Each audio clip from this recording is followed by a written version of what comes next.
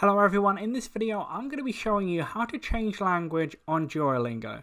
So this will work with any mobile device, whether you're an iPhone, Android, it's going to be the same process throughout.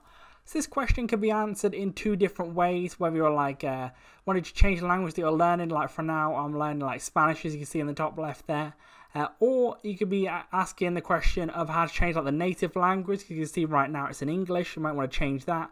So I'm going to show you how to do both in this video. So both of them are going to be happening in the top left hand corner there. As you can see, I'm an English person learning Spanish, so I want to click on that little uh, flag there in the top left hand corner for whatever language you're learning.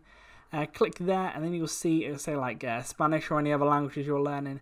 You're going to want to click plus on the course thing there, and then basically all you have to do uh, once you've got this, you want to click on whatever language, the new language you want to click.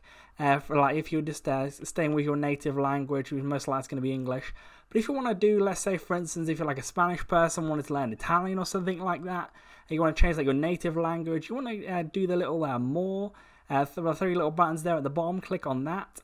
And it's going to bring up uh, like all these other ones. So like for Arabic speakers, it will be like United States, France, Germany, Chinese speakers, Czech speakers, Dutch speakers, all these different ones right here you can choose so from like different languages uh, to different languages like this. You can go through and click whichever one you want here. So for instance, uh, I'm going to do the one like I said for Spanish speakers, Italian. Click on that and I'll say this changed the app's interface to Spanish. You want to click OK uh, for that. And then it will learn uh, lo start loading like that. And then it'll say uh, for instance um, you want to click beginner or not and then it will start the course like that. So that's how it's done for each of them. Leave a like on the video if that did help you out. Subscribe for more videos like this. Click on the screen to see more how-to videos for this app and other ones similar. But that's it for now. I'll see you on the next video